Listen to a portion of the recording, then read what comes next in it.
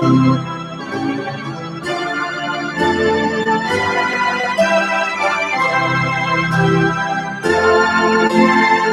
you.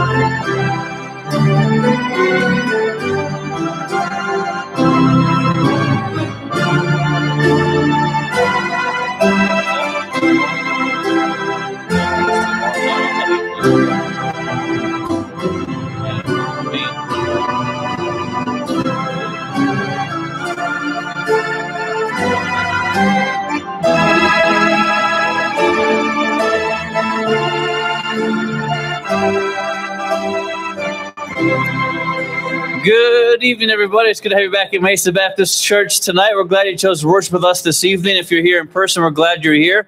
Let's all stand if we can. Number 329. He's a wonderful Savior to me. Let's all stand. Number 329 on that first verse. I was lost in sin, but Jesus rescued me. He's a wonderful Savior to me. I was bound by fear, but Jesus set me free. He's a wonderful Savior to me.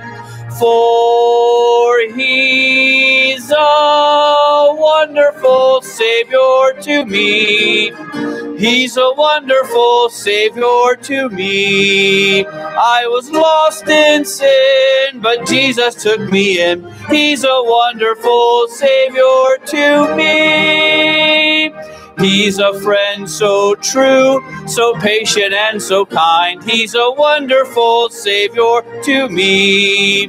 Everything I need in Him I always find. He's a wonderful Savior to me. Are you ready? For He's a wonderful Savior to me.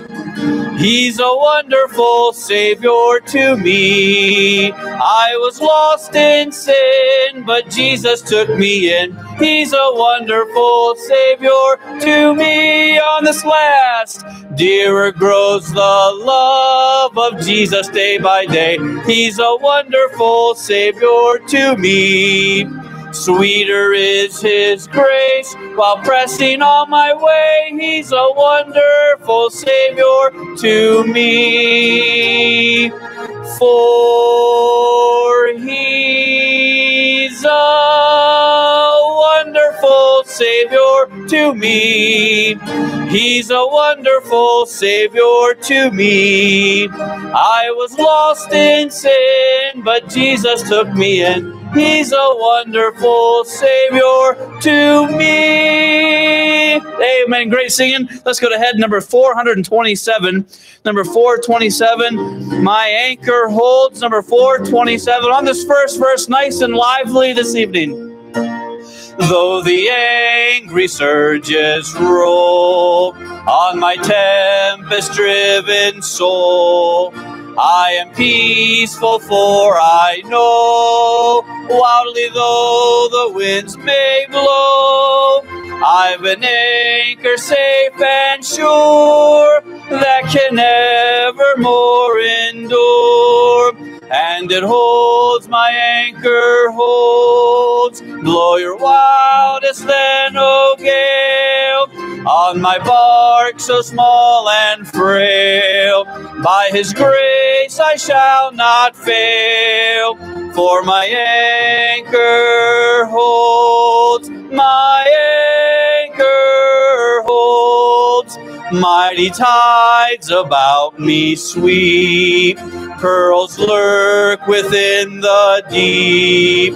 Angry clouds or shade the sky, and the tempest rises high. Still I stand the tempest shock, for my anchor grips the rock, and it holds my anchor holds. Blow your wildest then, O gale, on my bark so small and frail. By his grace I shall not fail, for my anchor holds, my anchor holds. Let's get around and shake some hands tonight as the instruments play.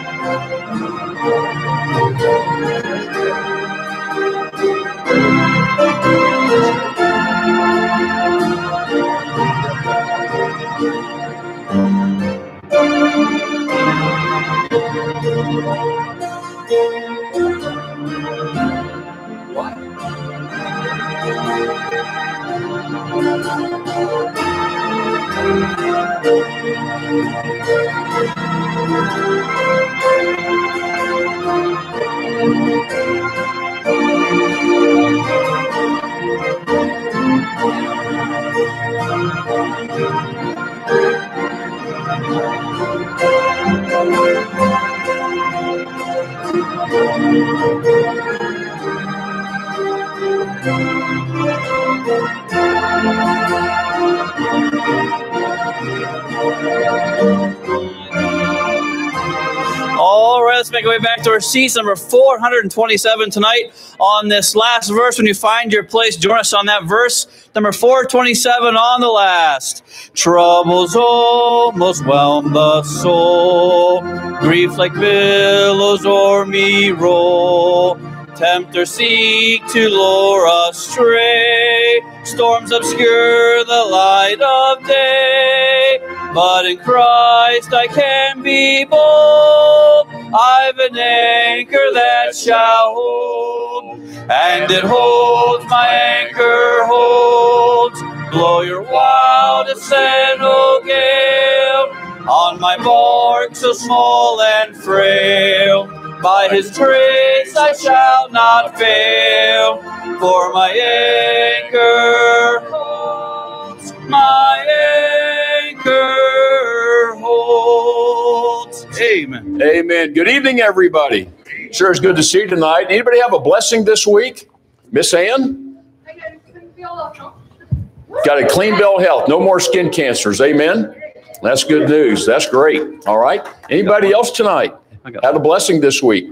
Brother Kenny? Uh, I talked to my dad today at knee, knee replacement surgery. He's off of his walker. He's only on his cane, and at home he doesn't use his cane at all. So he's doing really well recovering. He's making good progress. Amen. Yeah, there's something about those Florida boys. We're really tough. Amen. So, uh, yeah, I need to give your dad a call. It's been a while since I talked to him. That's that's good. Anybody else have a blessing? Miss Lori? my dad home I came home on Sunday, and he had the, the heart monitor, uh, uh, follow-up appointment yesterday, I think it was. Yep. And they, they said it was good. Amen. That's good news. That's answer to prayer. Got time for one more. Anybody else? Miss Miss Harvetta? Mitch is getting better. Yes, we've been praying for him too. That's good news. Brother Ted's back tonight. And uh, how many of you missed him Sunday? Yeah, I, I, can tell when he's not here because what, what was that song we sing? You always shout amen on. So, yeah, I had to do it for you, okay? So, you, you can't miss those Sundays we sing those songs, okay? All right, go ahead and have a seat tonight and uh, look on your prayer time. Hopefully, you got one when you came in. If you need one, raise your hand, and uh, we'll have one of the ushers bring one to you. Anybody need a prayer time? Okay.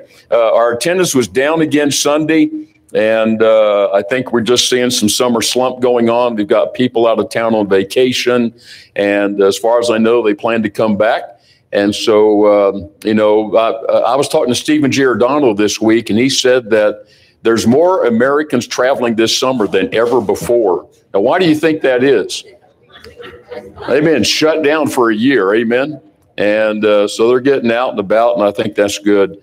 And um, so we got a lot of people, I'm sure. And we had a good offering Sunday. Um, that $4,500 for the frontline teens, uh, that was from um, uh, the teen camp money uh, that that was paid. Uh, we paid the bill, and then you know the other churches there they they reimburse us. So that's where that forty five hundred dollars came from. But we had a good offering Sunday. Uh, mark on your calendar Sunday, August 29th. Uh, I'm sorry, that should be August 1st. Okay, change that to August 1st. And my mistake, August 1st, not the 29th.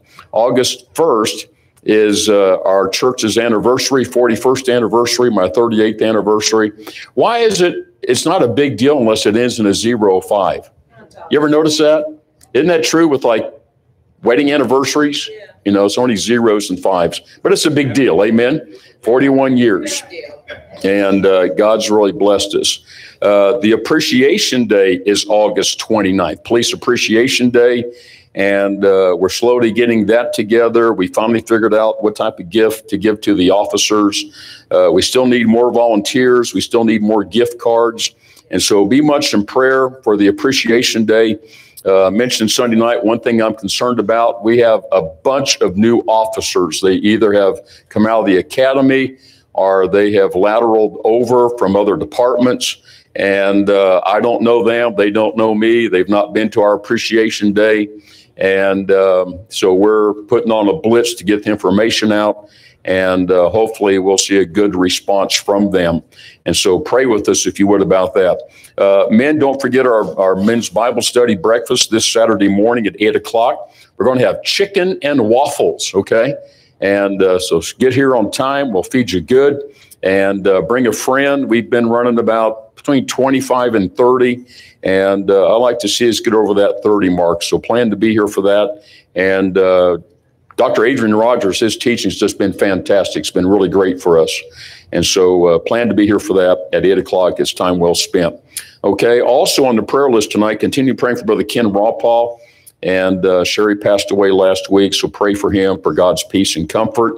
And then uh, when I talked to Stephen uh, yesterday, uh, he said Amy is having more good days than bad, and uh, they've already scheduled her next surgery to go in and remove more of these tumors out of her abdomen. And that surgery is scheduled for August the 24th. Okay. And so he says she's kind of depressed about that because she's what been through three major surgeries so far, and she's got two more to go. Uh, they've got to take the tumors out, then they've got to go back and replace that heart valve that they just put in. And but they said the doctor's saying after that, you know, uh, she should be on the road to recovery. And so he's pushing 2022 is going to be a, her best year. Okay. So continue to pray for her. He did say she went to church Sunday night. She went to go to church. And Monday, she was wiped out. I mean, it just took a whole lot of strength. And so, uh, if you know Miss Amy, she was uh, you know, just real bubbly and, and active. And to, for her to be in this situation just tells us how bad her condition is. And then I got a, uh, uh, an email from Brother Jeff Lang, missionary to Thailand today. And uh, he has been diagnosed with testicular cancer. Okay, so uh, they're going to be doing some more tests to see if it's spread. Uh, he said he's in a high risk group because of some previous illnesses he's had. And so if you would lift him up in prayer, hopefully uh, they caught it in time. Amen. and uh, it's just really bad. And and uh, he's such a good guy, doing such a great job. You know, he's supposed to go to what was it, Liberia? Yeah, and uh, help with church planting there. And I'm sure that's off the table. And then he's wanting to help us uh, with a uh, Bible study outreach through Facebook. He knows how to set all that up and get it working. And uh, I think I have a lady, I haven't talked to her yet about taking care of that, working it for us. So, uh, but do pray for Brother Jeff Lang. I know he'd appreciate that so much. And he's got what, two kids, I think, two or three kids? Three. And uh, the oldest is, uh, I think, about to go into the military. Okay. He's, I think he's, no, he's going to Bible college, but he's, he's doing reserve. Okay. Is what he's doing. He's going to school up in Fargo. Okay. Any additional prayer requests tonight? Miss Dawn?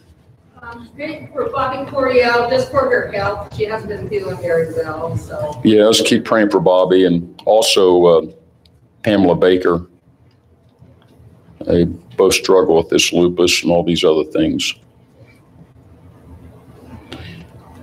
Be thankful if you have good health. Amen. Take it for granted. Brother Charles? Uh, my aunt Brenda is, uh, uh, was rushed to the hospital yesterday or this morning. And, uh, she, they found out that she has two clogged arteries going to her heart. Okay. And one's ninety percent closed, the other one's fifty percent closed. So she needs prayer because her heart is weak. Uh, so they can't really do the surgery right now. Uh, because they need, they need to do, put some sticks in there to go. Yeah, probably need, if they can do a bypass, get around that. But let's pray for her Aunt Brenda, Charles' Aunt Brenda. Okay. Yes, ma'am. I'm still not doing real well. And I saw the doctor this morning and he referred me to a general surgeon this next week. Okay. Let's pray for Vonna. This is Chris Holder's mom. She's had some medical issues. Okay.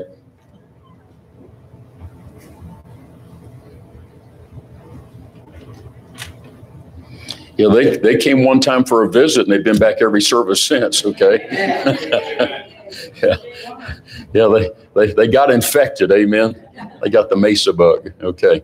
Anybody else before we go to the next song? Brother Charles?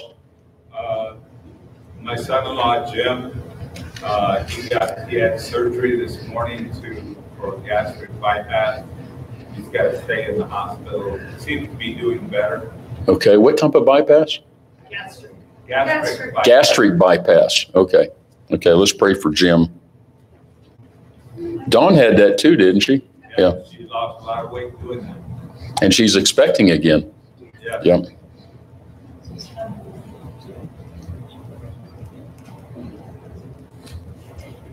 All righty. If there's nobody else, Brother Kenny. Amen.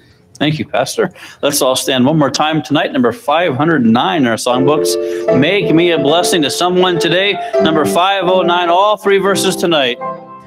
Out in the highways and byways of life, many are weary and sad. Carry the sunshine where darkness is rife, making the sorrowing glad. Make me a blessing, make me a blessing out of my life. May Jesus shine. Make me a blessing, O Savior, I pray. Make me a blessing to someone today. Tell the sweet story of Christ and his love. Tell of his power to forgive. Others will trust him if only you prove true every moment you live. Make me a blessing. Make me a blessing out of my life. May Jesus shine. Make me a blessing, O Savior, I pray. Make me a blessing to someone today on this last. Give as was given to you in your need. Love as the Master loved you. Be to the helpless a helper indeed. Unto your mission be true. Make me a blessing. Make me a blessing out of my life. May Jesus shine. Make me a blessing, oh Savior, I pray. Make me a blessing to someone today. Amen. Great singing this evening. You may be seated. Amen. Thank you, Brother Kenny. Let's go and get our Bibles out tonight. Find the book of Second Thessalonians. We'll be in chapter one tonight. And uh, while you're finding that, uh, we got our new Bibles in, okay? And uh, they're in the bookstore. Uh, they keep we, ordered them in boxes so we can keep them neater and uh, kind of keep them together. And uh, the prices, that's what it cost us. That's at our cost. We don't make any money on them. And that includes the, the shipping and everything. And so uh, I think most of them, at least many of them, are red letter editions. And uh, they're all calfskin Bibles. Okay, they're nice leather Bibles, good bindings. And uh, Miss Hope is going to be working in the bookstore. I think Donna helps in the bookstore as well. And uh, so we ask that you not self serve. Okay, uh, go back there, and Miss Hope will get them off the shelf and let you look through them. And if you need a new Bible, this is the place to get them. Of course, they're they're all King James. Amen. And uh, you know they're they're great covers, great bindings. Uh, the Bible I've got uh, ordered this through local uh, church publishers. This is Bible pub- uh, church publishers, uh, which is a spinoff from them, and uh, the same quality Bible. So it's really nice. And this Bible I have has really held up really, really well. there's some large print Bibles back there with wide margins. I think most of them are center column reference. And so uh, they're really, really nice. Brother Mitch, have you lost your Bible? Have you lost your Bible? No, I have it at home. Okay, because I found the Bible back there. It looks like your handwriting in it. Okay, so it's it's on the counter. You might want to take a look at it. It's a black one. I have one. Mine's at home. I know where. Okay, you know where it's at. All right. There's a really nice Bible sitting there. I have no idea who it belongs to, and I thought it might be yours. So if you lost one, we have a lost and founds in the bookstore, and there's some other nice Bibles in there, and they're too expensive to lose. Amen. And by the way, if you lost your Bible, shouldn't you notice it? okay, you should notice that. Let's get our Bibles out tonight. Second Thessalonians. We finished uh, First Thessalonians a couple weeks ago, we started in Second Thessalonians. I think it's a natural progression. And uh, again, you can read through this book in about five to ten minutes. It's not very long, and uh, kind of this picks up where Paul left off in uh, First Thessalonians, and uh, this series, we're calling it Hope for the End Times. Hope for the End Times. Again, I think we all agree that we're living in the last days. Amen. Uh, if not, we ought to be very, very concerned. And, uh, you know, what the devil tries to do to us uh, all the time, especially in the last days, is to get us to think that our situation is hopeless. Have you ever felt in your that whatever situation you're in, have you ever got to the point sometimes where you felt it's just hopeless? You ever gotten there? What do you want to do when you feel like it's hopeless?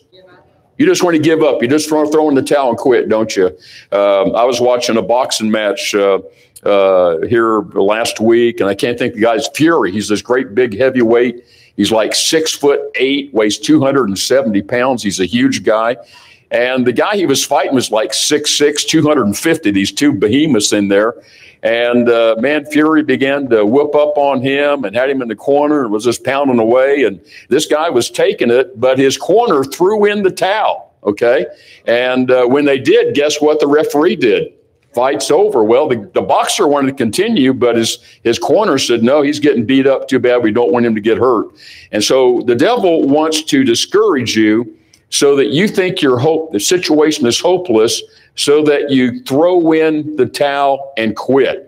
And so uh, we've all been in that situation. I heard a, uh, a sad uh, statistic uh, this last week. Uh, COVID killed about 25 young people in America, about 25 teenagers. Kids have a huge survival rate with it, like 99.9%. Okay. Why they're getting vaccinated, I have no idea. Okay. The vaccination, did you know last week in America, most more people died from the vaccination than died from COVID? Yeah, I mean, really. I mean, it's over 2,000 died from the vax. And uh, I think it's less than like 1,500 died from COVID itself. But um, only a handful of teenagers died from COVID. But during the COVID shutdown, hundreds of teenagers took their lives. Why? Because the COVID shutdown took away their hope. Okay. And uh, you've heard me talk about the Office of Mes- Medical Investigator, the friend I have. And he said, Jeff, suicide rates are up 35% because of COVID and um, because their hope got taken away. And um, we just did some uh, chaplain training on suicide. And uh, one thing that we learned is that people don't want to die. These people that take their lives, they don't want to die. Uh, they've just given up hope. Uh, they just want the pain. They want the hurt to end, and they think that's the only way out. And and and that's how the devil works mind games with us. And so, if hard times come to America, uh, the devil's going to want us to think you just need to give up, throw in the towel, quit, you know, stop being a Christian, and just kind of go along with things. That's what we don't want to do. And uh, you know, we we think, well, that'll never happen in the United States of America, you know, the home of the brave and the land of the free. Well, maybe uh, it will because have you heard what's going on in Canada?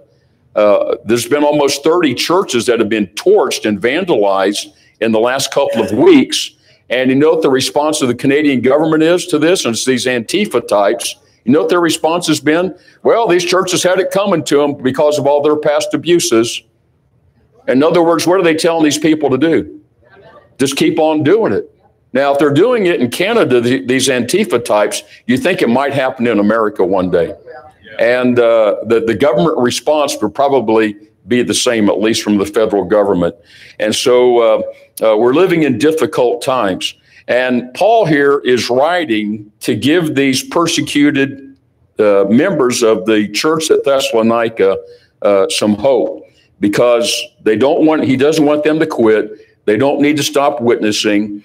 And, and the bottom line here is, we're going to talk about tonight is this they need to know that God will bring justice to all the wrongs that are going in this, on in this world.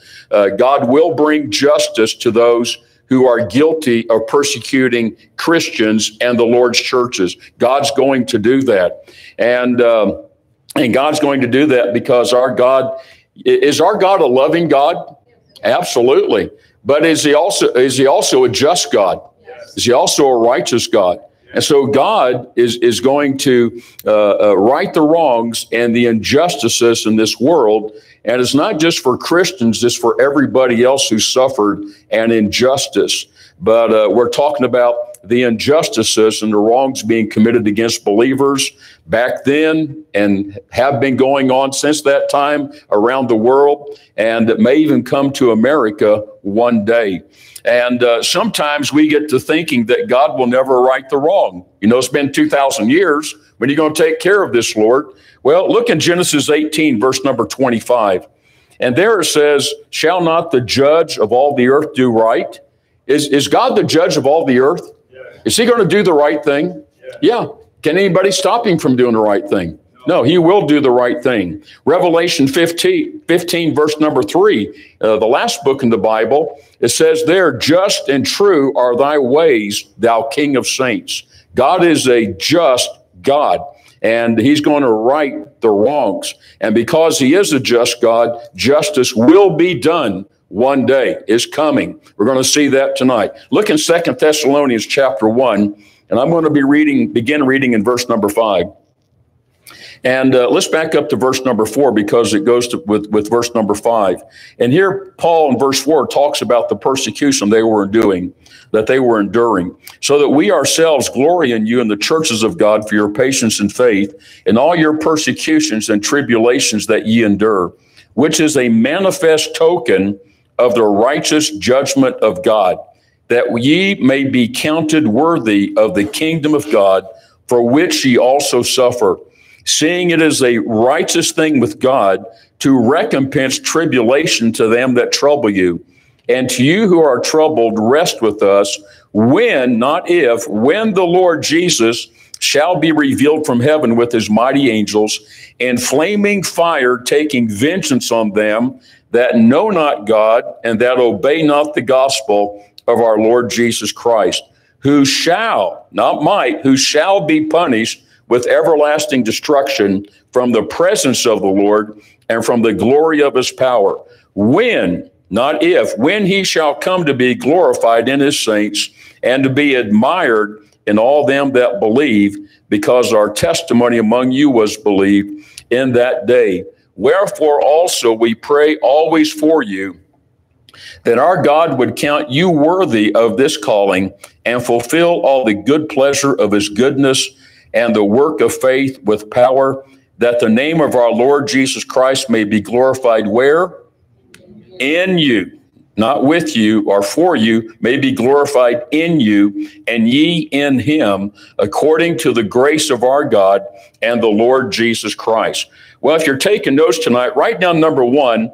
Uh, I want you to see the truth of God's justice, the truth of God's justice. And uh, go back to verse number five.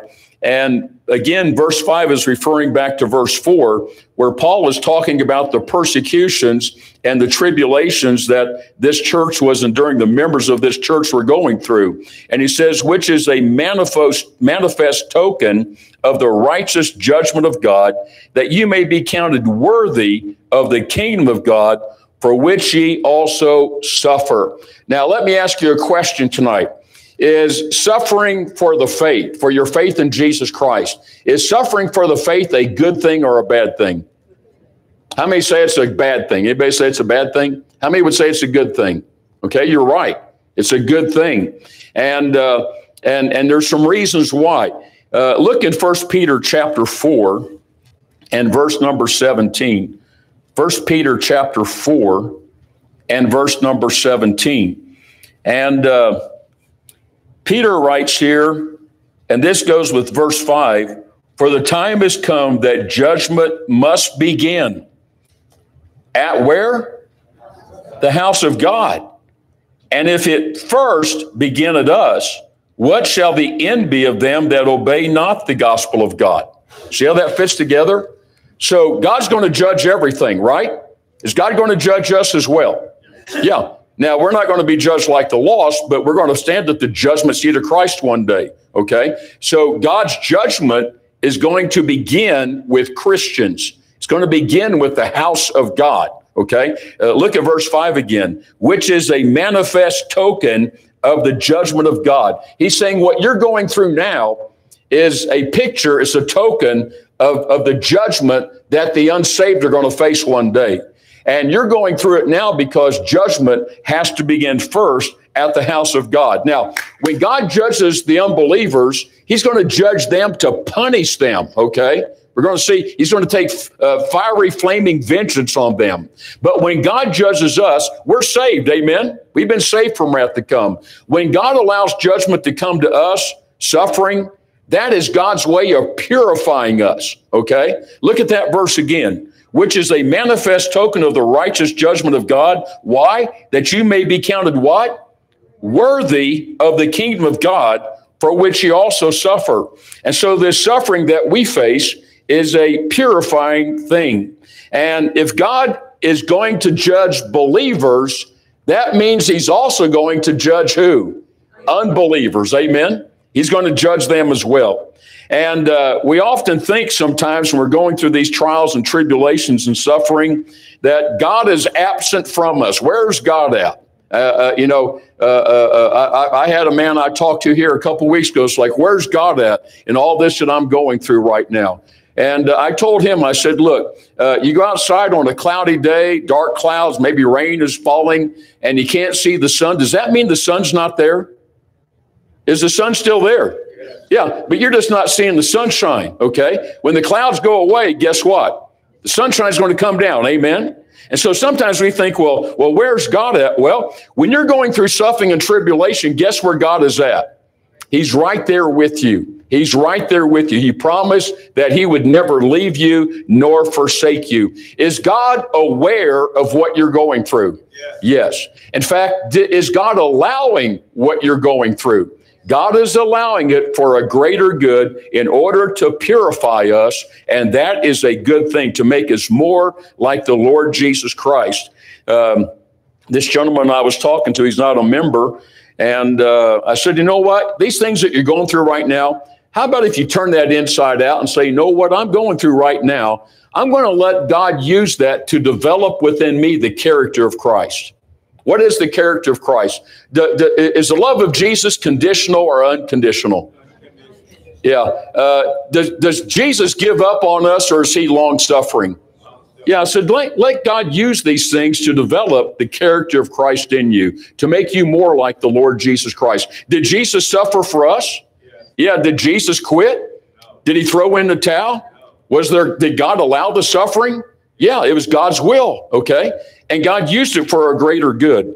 And so uh, when we think about the, this judgment and, and, the judgment of the unsaved, uh, we read about it. Look in verse number eight and flaming fire taking vengeance on them that know not God.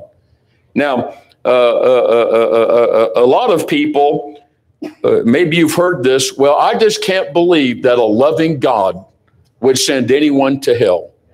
Okay. I just can't believe that a loving God uh, would bring that type of judgment against somebody. And you see, the problem they have is that there's two things they don't understand the holiness of God and, and the awfulness of sin in God's sight. Okay? They don't understand the character of God. They don't understand the, the true nature of sin. And the, but the Bible does tell us, look in verse 6, that God, uh, our loving God, will judge sin and unbelievers. Look what it says. Seeing it is a righteous thing with God to recompense tribulation to them that trouble you. Paul says when God judges those who are persecuting you, it will be done in righteousness. It is the right thing to do. Uh, I was uh, watch. Uh, I don't watch the news. Uh, I guess I was looking at a website somewhere. Maybe you've seen this too. Um, out in California now, a lot of places, if you shoplift or steal something under a thousand dollars, guess what? I, I, don't know. I've heard here, Dennis, that's two hundred and fifty dollars. Is that true? A thousand is the, is felony charge. Under a thousand is misdemeanor. Just a misdemeanor. Okay, are they even arresting people for it anymore? Are they citing them? They're citing them. I think in California, they don't even cite them. So guess what's happening now in California? Uh, I, I, saw I saw a video of this woman. She's at a stoplight, and this guy's robbing her at the stoplight in broad daylight. Why? Because there's no threat of any penalty. Now, is that just? No. Is it wrong to steal? Yeah, God says, Thou shalt not steal. You're taking somebody's property.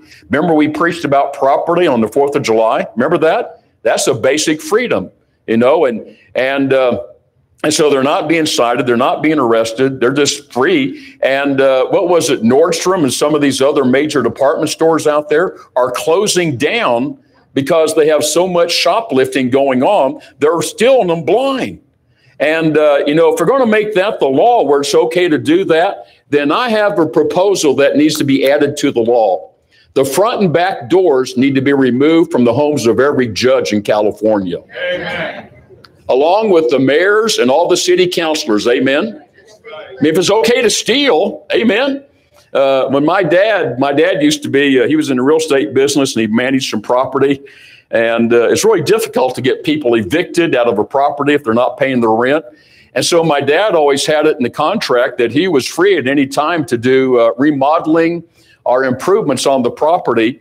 And uh, if they had not paid their rent and he couldn't get them out of the house, then he would come and remodel the house by taking the front and back doors off the house.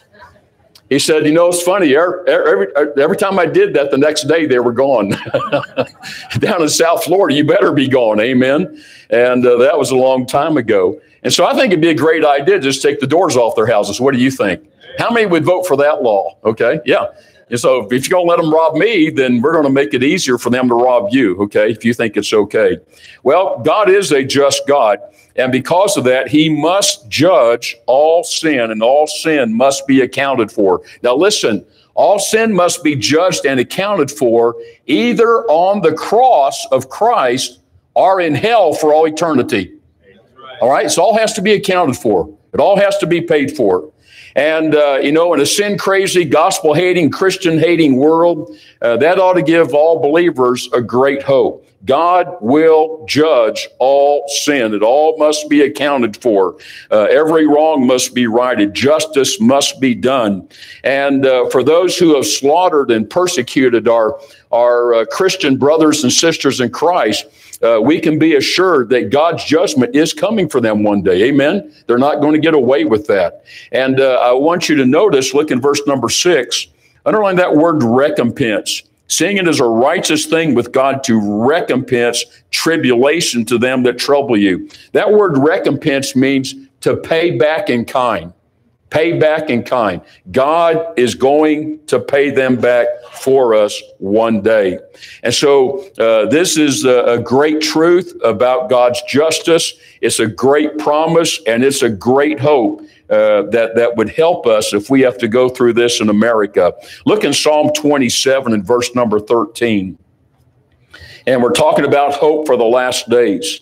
And uh, the fact that, that God will not allow justice to go unpunished uh, ought to be a great blessing to us. In Psalm 27, verse 13, uh, David wrote this. He said, I had fainted. I had fainted. I would, I would have given up. I'd have thrown in the towel. I had fainted unless I'd believed to see the goodness of the Lord in the land of the living. And uh, David was looking forward to that time when God would make all things right. And so, if and when persecution comes to America, uh, we can take great comfort in knowing that God uh, will hold our persecutors accountable and justice will prevail. The truth of God's justice. Now, look at verse number seven. Here I want you to see the timing of God's justice, the timing of God's justice. And to you who are troubled, rest with us. When, not if, when the Lord Jesus shall, not might, be revealed from heaven with his mighty angels. And so uh, we, we have the answer to the timing of God's justice. It's going to happen when Jesus is revealed. Now, have Christians down through the ages been wondering when God's justice is going to come against the evildoers? Yeah. Um, in Psalm 13, write that down. There, several times in that psalm, uh, the question is asked, How long, O Lord? How long? How long are you going to wait, Lord? How long is it going to be until justice comes? Lord, how long is it going to be until you make things right? And, uh, oh, how long, O Lord? And then in Revelation chapter 6, there we have a heavenly scene with the martyrs, those who have been killed for the faith, and they're before the throne of God. And here's what they're asking How long, O Lord? They're repeating Psalm 13. How long, O Lord, holy and true, dost thou not judge and avenge our blood on them that dwell on the earth? And so uh, this is the age old question and uh, look over in second, well, look at verse, uh, verse number seven again. Here we see the answer. When's God going to take justice? When the Lord Jesus shall be revealed from heaven with his mighty angels. Now, what that's talking about is the second coming of Christ, the second coming of Christ. And uh, remember now, uh, we, the second coming involves two parts. There's the rapture at the beginning of the tribulation, when we meet the Lord in the air, he comes for his saints. And then we have that seven year tribulation period, and Jesus comes back out of heaven with his saints. We call theologians call that the revelation. Look at verse six again, uh, verse seven rather. Uh, uh, when the Lord shall be revealed from heaven. Uh, when Jesus comes at the rapture, is the world going to see him? Yeah. No. At the rapture? Not not at the rapture. It's going to happen in a moment, in the twinkling of an eye. Boom, just that fast. We're going to meet him in the air, okay? We're going to go up The dead in Christ shall rise first, okay? We're going to receive our glorified bodies. We're going back to heaven. But when he comes back at the revelation, will the world see him then? Yes. And the Bible tells us that it's going to frighten the unsaved so much, they're going to be begging for the mountains to come down on top of them. Okay? Uh, they know that God's judgment is coming. And so, if you want to get a picture of what it's going to be like when he comes at the revelation at the end of the tribulation period, look in Revelation chapter 19. Revelation chapter 19.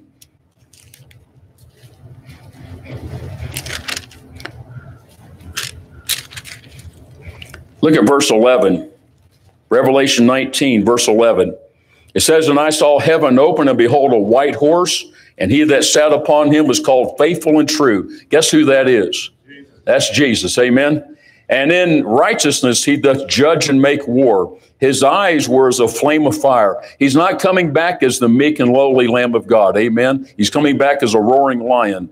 And on his head were many crowns, and he had a name written that no man knew but he himself. But and he was clothed with a vesture dipped in blood, and his name is called the Word of God. And the armies which were in heaven, guess who that is?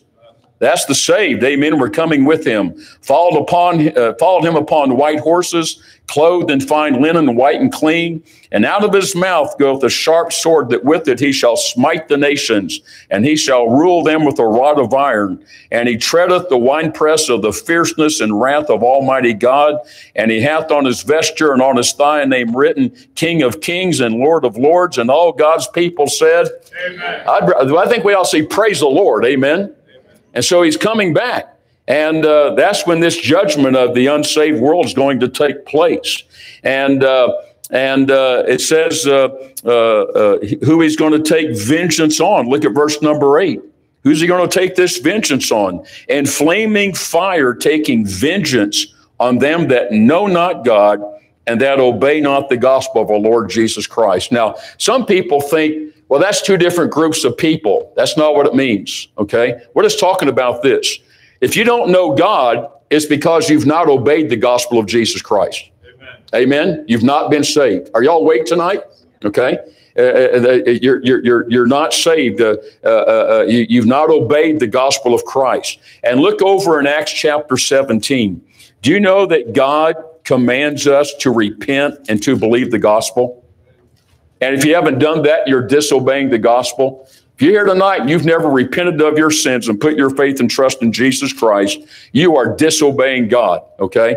And look in Acts chapter 17 and verse number 30. And was when Paul was in Athens up on Mars Hill preaching to those Athenians, and, and he said to them, And the times of this ignorance God winked at.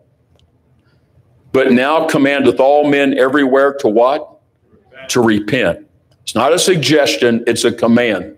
And if you don't obey that command to repent and believe on the Lord Jesus Christ, then you are guilty of disobeying the gospel. And when Jesus comes again, you're the ones going to be subject to that flaming, fiery vengeance of God. And uh, that word vengeance, underline that in your Bibles. That word means inflicting full judgment and punishment on evil, full and complete. It's, it's the idea of a criminal getting exactly what he deserves, no more, no less. God's justice will be righteous. And, uh, and uh, those who reject Jesus Christ, uh, they're, they're going to suffer the wrath of God because of it. Look in verse number nine. Here's what it will be Who shall be punished with everlasting what? Destruction. Now, how many ever heard of the Seventh day Adventist? Anybody get one of their books in the mail this week besides me? I got a hardcover book of Ellen G. White's book in the mail. Some guy back east mailed it to me. I don't know why. It's probably a $20 book. And uh, it's called uh, uh, The Great Controversy. Ellen G. White wrote that book. She was the founder of the Seventh day Adventist Church. By the way, if you have a human founder, can it be a church of the Lord Jesus Christ? Can't be, okay? and she's not, she was a heretic, okay? And here's one reason why. Seventh day Adventists believe that if you're not saved, that you're annihilated, you no longer exist. You just go out of existence. Jehovah's Witnesses believe the same thing, another cult, Okay, that's not what this is telling us here. Uh, God breathed into man the breath of life, and he became a living soul. We all have an eternal soul. Okay, uh, it will never ever stop existing. Well, what does it mean to be punished uh, with everlasting destruction from the presence of the Lord? Well, it means the loss of everything that makes existence meaningful. If you die and go to hell, you're going to lose your freedom. You're going to lose your family. You're going to lose all of your friends. I got news for you. Hell's not going to be a party place. Amen. Well, I don't mind going to hell. It'll be party time for us. Me and all my buddies, we'll be drinking and sexing. And we're going to be doing everything. No, you won't. Uh, pl- hell's a place of outer darkness. Say bottomless pit. Okay. And just like you're separated from God forever, you're separated from other human beings forever.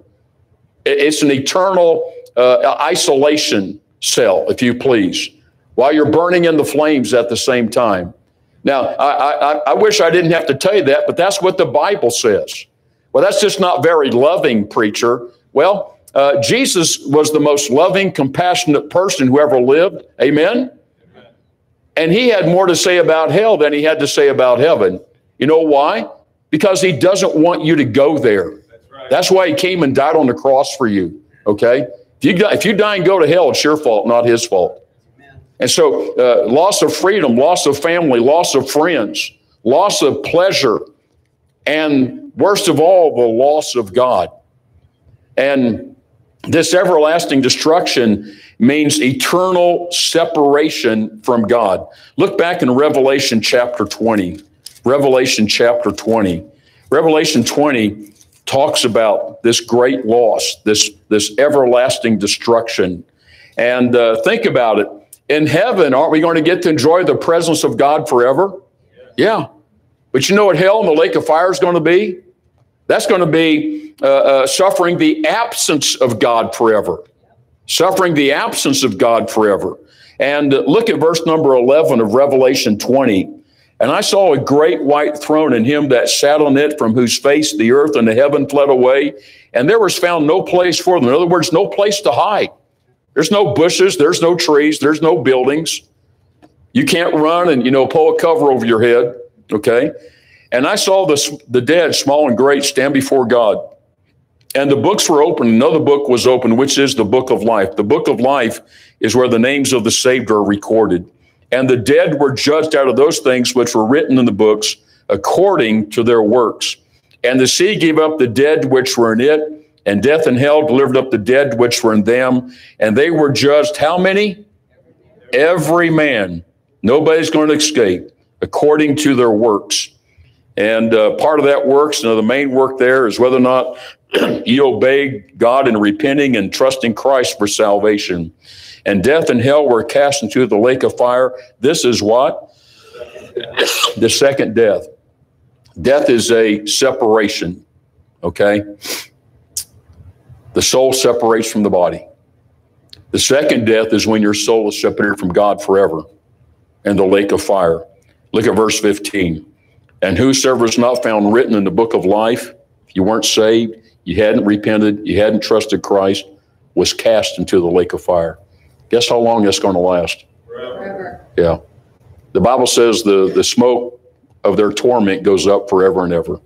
That's an awful thought, isn't it? Awful thought. Awful thought. But here's what you need to remember people don't go to hell because God rejected them, That's right. people go to hell because they rejected God. That's right. If you die and go to hell, it's not God's fault. Guess whose fault it is? It's your fault. Jesus came and died so you could be saved. Jesus came and died so you would not have to go there. He suffered the punishment for your sins. Remember, every sin has to be accounted for, either on the cross or in hell. It's what the Bible says. You get to make the choice. You get to make that choice. Now, let me ask you something. We're talking about persecuted Christians. Is God going to take vengeance against them? Should we rejoice over that or should we grieve over it? We ought to grieve over it. It's not like, oh boy, they're going to get it. Yeah, burn them up, God. No. We ought to grieve over that because, listen, but for the grace of God, that would be you and I. Right. And here's what it ought to do it ought to motivate us to be greater witnesses to them. You know, if we come to the place of persecution, you know what the best thing you can do when you stand before your persecutors? Is tell them about Jesus, amen. Tell them about the Lord. Tell them how to be saved. Preach the gospel to them. Well, they might kill me. Well, they're just going to send you to heaven, amen. It's not a bad thing. It's not a bad thing. Now look at verse number 10. Let's go back. We got to hurry. It says, when he shall be, when he shall come to be glorified where? In his saints. And so much to the dismay of our enemies, when Jesus comes back, listen to me, we are going to share in his glory. I don't have time to look it up, but write down Romans chapter 8, verses 17 and verses 28 through 30. Uh, we're we're going to be glorified in the Lord Jesus. Uh, the Jesus Christ is going to be glorified in us to the chagrin of our enemies. Now, uh, here's the idea as I was studying about this. Uh, we have LED lights right now, but remember the old light bulbs that had the little squiggly thing in them? What do they call that little squiggly thing? Filament, okay? And what was it that made it glow? What'd you have to do to that bulb? Screw. Yeah, screw it in. He also had to do what? And when you flip the switch, what happened? Electricity went up through that filament and made that filament glow. That filament wasn't glowing on its own, okay? It was what? The electricity in it, okay? And so is Jesus does Jesus Christ exist within you with all within all the saved tonight? Yes. And so this glorification, it's not us, our glory, it's his glory. Where? In us. Did you get that? It's not your glory, it's his glory. It's his glory. Uh, we're we're going to be share in the glory of Christ at his coming. Well, let's hurry up and finish here tonight. Look at the third thing. Lastly, I want you to see the thrill of God's justice, the thrill of God's justice. Look at verses 11 and 12. Now, we talk about Christ being glorified in you. Do we have to wait until Jesus comes for that to happen? When should that be happening? Right now. Can it happen right now? Yeah, we, we don't have to wait till Jesus comes. Uh, uh, it ought to happen right now. Look at verse 11. Wherefore also we pray always for you that our God would count you worthy of this calling uh, to, to have Christ glorified in you and fulfill all the good pleasure of his goodness and the work of faith with power, that the name of our Lord Jesus Christ may be what? Glorified in you and ye in him according to the what? Grace of our God and the Lord Jesus Christ. And look up here for a minute. In that last verse, God connects uh, uh, uh, glorifying Jesus with the grace of God. Okay? How many of you have been saved by the grace of God? Okay? You've been saved by the grace of God. Therefore, who should be glorified in your life? The Lord Jesus Christ. Amen? God puts those together. God puts those together. And uh, if you've been saved by the grace of God, then your life should be bringing glory to Him.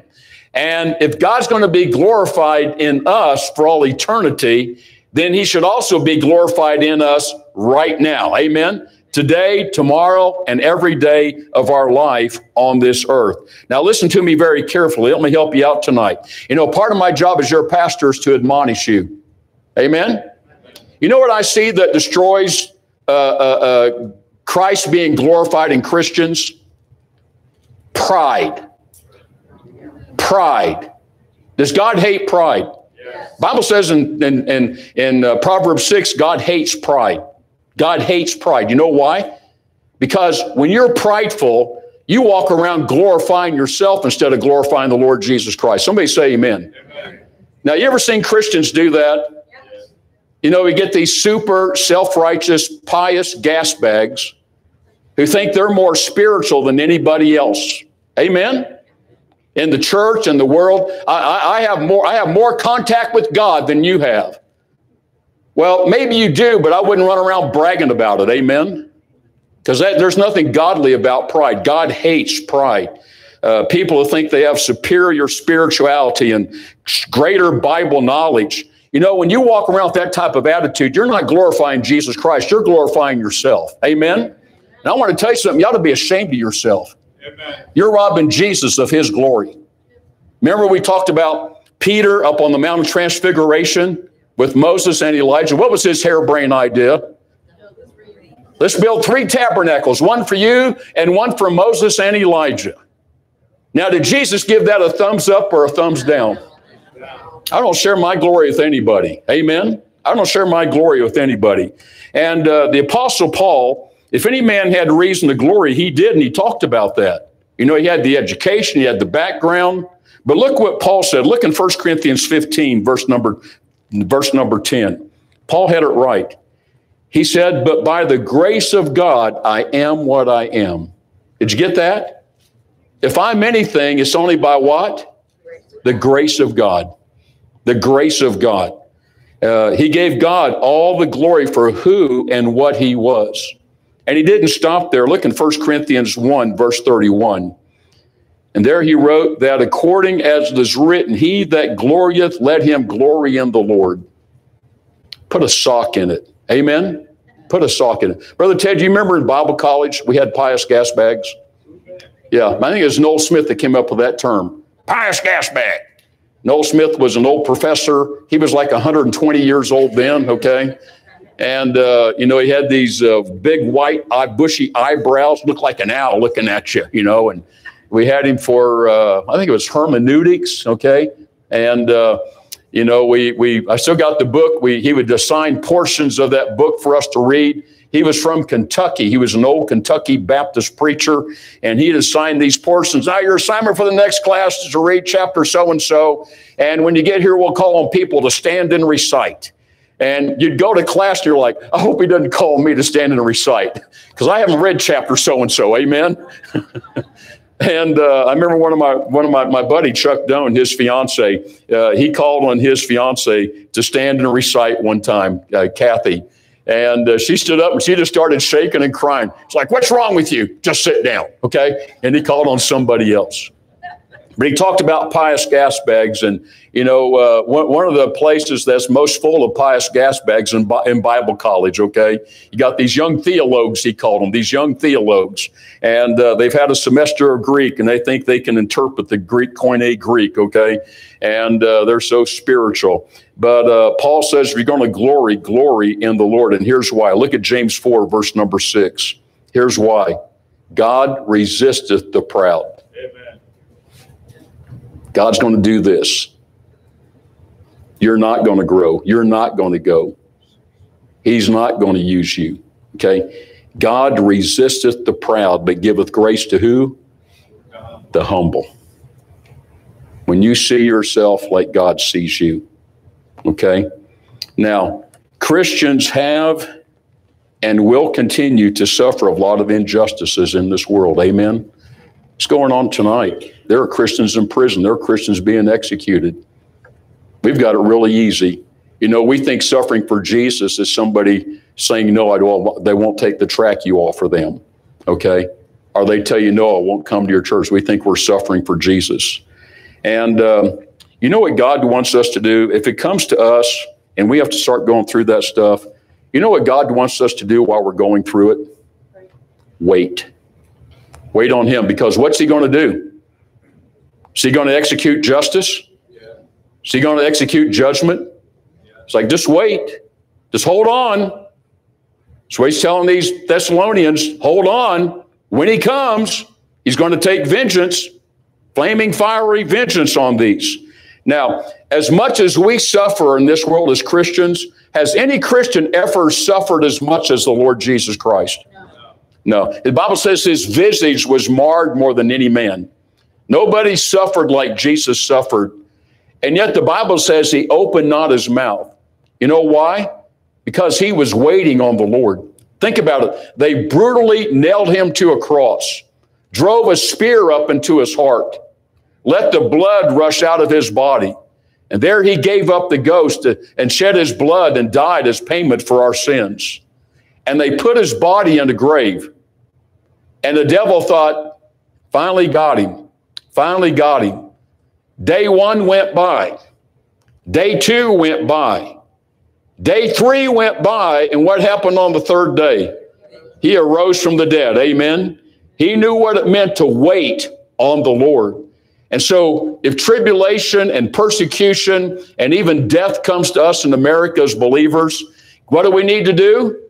Just wait on the Lord. Wait on the Lord. Now, waiting on the Lord doesn't mean, you know, uh, if you go to a restaurant, they have people that come out and take your order. What, what do they call those? Servers. Waiters or waitresses? Servers. Servers. Okay. Is that the politically correct term? Okay. So while we're waiting on the Lord, what should we also be doing? Serving the Lord. Serving the Lord. Amen. Don't quit. Don't give up. Keep on serving Jesus till he comes again. Let's bow our heads in prayer tonight. Every head bowed, every eye closed in prayer. I don't know about you. I needed this. I needed this. It encouraged me. It helped me. It strengthened me. Anybody else here tonight with heads bowed and eyes and clo- eyes closed? No one looking around. Don't be a peeping tom. Anybody else? Would you lift your hand and say, Brother Carl, I needed this message tonight. That helped me. Anybody? I needed it. I needed it. Amen. Amen. Father in heaven, Lord, thank you for your word. Lord, help us to humbly serve you until Jesus comes. Lord, I pray that uh, we never see real persecution come to America. Uh, but Lord, it might. It's already taken place in Canada, Lord. They're burning churches down and the government standing back and, and from all intents and purposes are encouraging it. And uh, Lord, we have some of the same type of crazy leaders in this country, Lord, the same philosophy. They're communists. They hate Christianity. They hate Christians. And uh, Lord, it could come to America. And Father, if it does, uh, Lord, help us to remember what we've seen here tonight uh, the truth of your justice. You will come one day and take fiery vengeance on the enemies of God's people and the enemies of God's churches. And uh, Lord, in the meantime, if Lord, if we're going through that, uh, Lord, help us to be like Jesus, who suffered more than anybody's ever suffered. And uh, Lord, not to scream for our rights, not to cry out injustice, but Lord, just to keep our mouth shut and to wait for you like Jesus did. And uh, Lord, the day is coming when uh, your people will be vindicated and vengeance will be taken on the evildoers. And Father, I pray tonight if there's anybody here who's not saved, Lord, they've never obeyed your command to repent and to believe the gospel of Jesus Christ. Uh, Lord, they need to do that tonight in this service before they leave this building. Uh, Lord, your judgment is, the Bible says it hovers over them. It's just waiting to fall. It's only by your grace that it hasn't fallen. And Father, help us to understand uh, when people die and go to hell, it's not because you rejected them, it's because they have rejected you and your son Jesus. Nobody has to go to hell. You want everyone to be saved.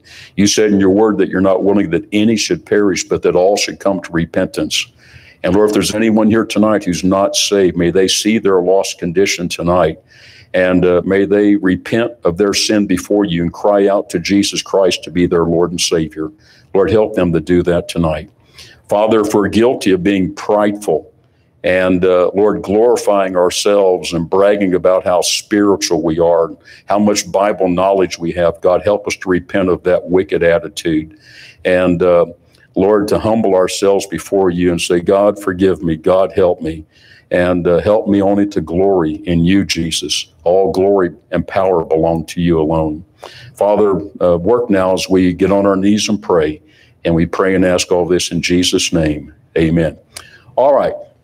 We're going to, everybody's got your prayer list tonight. Okay. Uh, let's pray for the Appreciation Day. If you would put that at the top of your list, pray we'll get a good response from the officers. Continue praying for Miss Amy. And uh, we've been in a drought. We had a young man saved at camp last week. Thank God for that. But we want to see people saved every every week. Amen. In church, out of church. So pray God to give us souls. Do your part by being a witness and inviting people to come. Okay. Who needs a, a prayer partner tonight? Anybody need a prayer partner? All right, Brother Sean needs a prayer partner. I'm going to be praying with my wife. Anybody need? Anyone? Can he pray with some of you men? Some of you men? I'm fine by myself. Okay. All right, Miss Aim. Uh, yes, ma'am. Miss Lori. She needs a partner. Any of you ladies?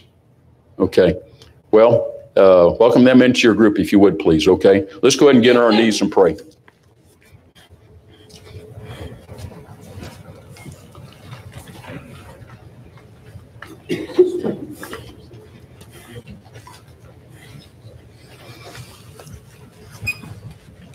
Don't try with me, Have the last two weeks.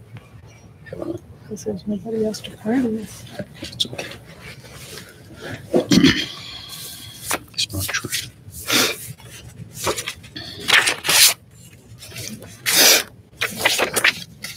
Hmm. My nose is running. Father in heaven, Lord, I thank you for the message tonight. And uh, Lord,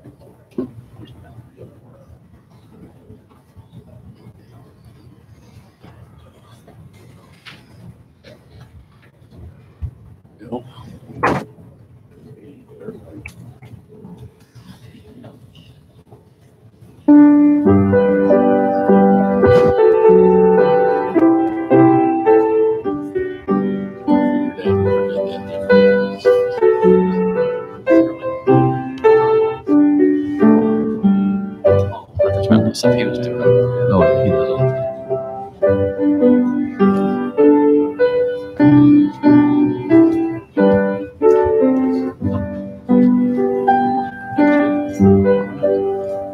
Let's all stand one more time tonight. Number 419. We'll sing the first and last verse of the solid rock. Right, right along the message tonight. Number 419 on the first and last.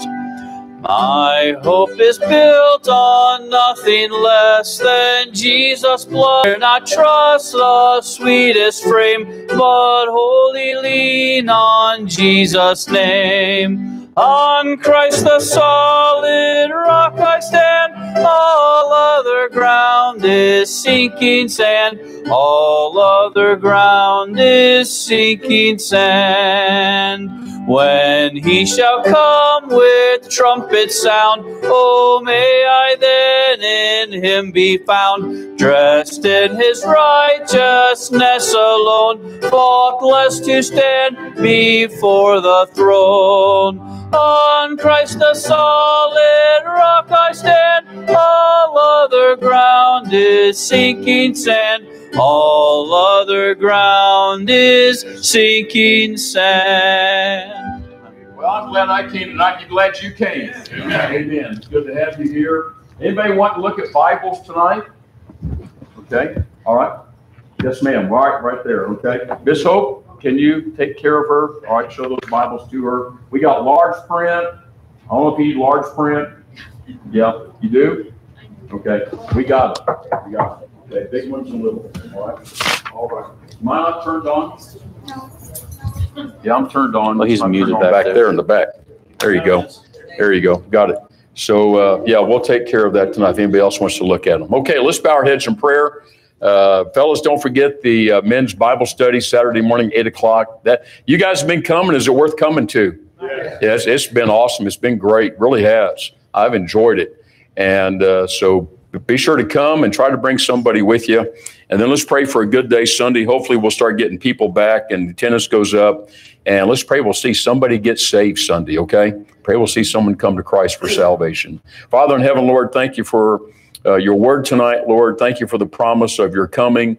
Uh, Lord, thank you for the promise that uh, justice will be done one day, Lord. We just need to wait on you. Uh, Lord, so often we see criminals and it appears that they get away with so much evil and crime and wrongdoing and uh, they escape uh, human justice, but Lord, they're not going to escape yours.